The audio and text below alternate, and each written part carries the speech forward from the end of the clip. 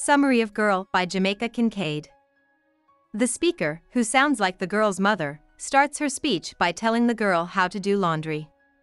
Mother says that there is a right way to wash whites, on Monday and on the stone heap, and a right day to wash colors, on Tuesday and on the clothesline to dry. Mother also tells the girl how to keep her looks in good shape. She shouldn't walk around with her bare head in the sun, and she should be careful about how she walks and how long the hems of her dresses are so she doesn't look like a slut. The girl needs to be on her best behavior especially at Sunday school, where she is told not to sing Benna. The rest of Mother's advice is about things like personal cleanliness, cooking, farming, tailoring, and throwing parties.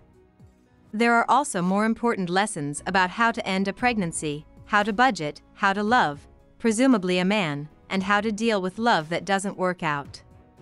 At the end of the story, Mother tells the girl that she should always touch the bread to make sure it's fresh. The girl asks if the baker would let her feel the bread, which makes Mother wonder if any of her advice counts if the girl will become the kind of woman the baker won't let near the bread. About the author Jamaica Kincaid was born and reared in St. John's, Antigua and Barbuda's capital. Her family was poor, and she said that her mother didn't care much for her. She moved to New York City when she was 16 to work as a nanny.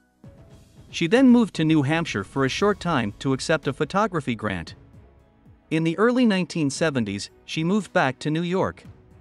She used the pen name Jamaica Kincaid to stay anonymous and started writing for The New Yorker, first in the Talk of the Town column and then as a short story writer and critic.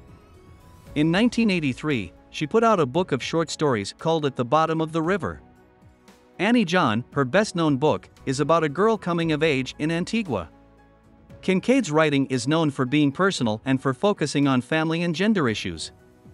Some of her works, like the autobiography of My Mother, a novel and a small place, deal more closely with the political and personal effects of colonialism.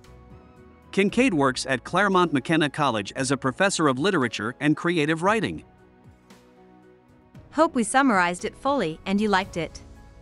Please hit the like button and subscribe to our channel so that we are motivated to create more videos.